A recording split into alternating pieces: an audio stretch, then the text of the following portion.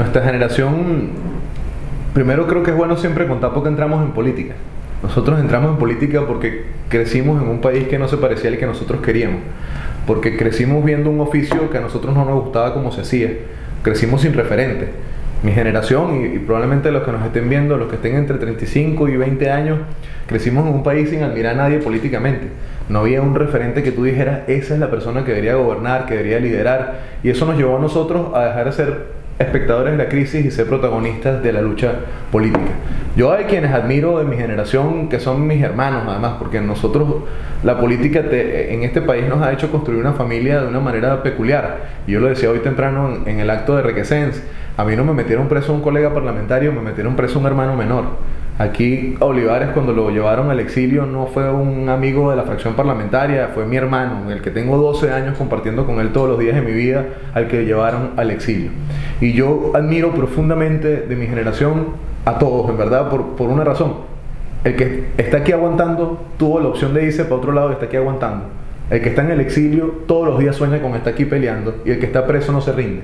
Y eso hace que Stalin, que Olivares, que Requesens, Paparoni, Marial, Verboso, sean todas personas a las que yo admiro profundamente y además sueño con verlos a todos cumplir su objetivo. Yo, yo en verdad quiero, ojalá algún día Olivares gobierne Vargas, ojalá algún día Bozo logre cambiar Carabobo, porque nosotros entramos a, aprender a los golpes un oficio que la verdad debe haber sido mucho más fácil de lo que nos ha tocado. Tenemos nuestros némesis, pues tenemos nuestra versión eh, en la contraparte del gobierno.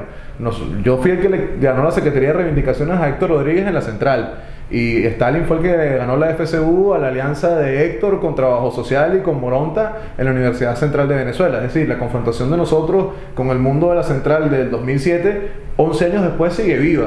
Ellos intentando desde el gobierno cooptar más espacio y llegar a gobernaciones, Clark, Héctor, varios que están por ahí regados y nosotros desde acá.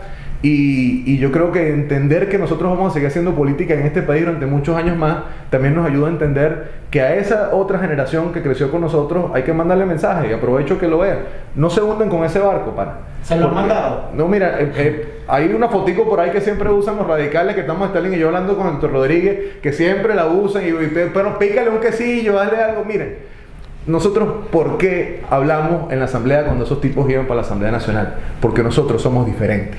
Porque nosotros creemos que el que piense distinto a nosotros no tiene por qué ser nuestro enemigo. Pues nosotros podemos tener diferencias políticas, pueden perseguirnos como nos persiguen y aún así tenemos que dar testimonios de que somos mejores personas, de que nosotros no, no albergamos odio y que somos capaces de obligarlos a ellos a reflexionar. Y los que están más jóvenes hoy en el gobierno, que están en cargos ministeriales, que están en gobernaciones, Hermano, no se hundan con un barco que ya se estrelló.